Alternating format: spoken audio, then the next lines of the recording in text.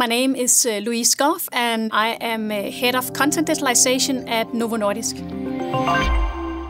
Novo Nordisk is a pharmaceutical company and we, uh, we focus on uh, serious chronic diseases such as uh, obesity, diabetes and uh, rare blood disorders. We knew early on that we needed to use uh, expert knowledge from the outside because it was not something that we had in the pharmaceutical industry. We engaged uh, very early in the project with our partners, so we use large language models from Anthropic and then we use MongoDB for, for data storage and vector search. Everything Everything is housed within our AWS cloud and that gives us the confidence that we have our data secure. We can now automatically produce uh, some of our uh, clinical study report documents. These documents would normally take uh, a long time to produce, sometimes up to 15 weeks and we can now do it within minutes. So that's a big benefit for, for us. We are using Amazon Bedrock because it gives us the opportunity to switch between different uh, generative AI models. We are using uh, Anthropic and there it's specifically uh, Claude 3.5 and we use this to uh, generate our content but also to structure some of the unstructured data that we have. We are using MongoDB to uh, store all of our content and, uh, and our data and we use um,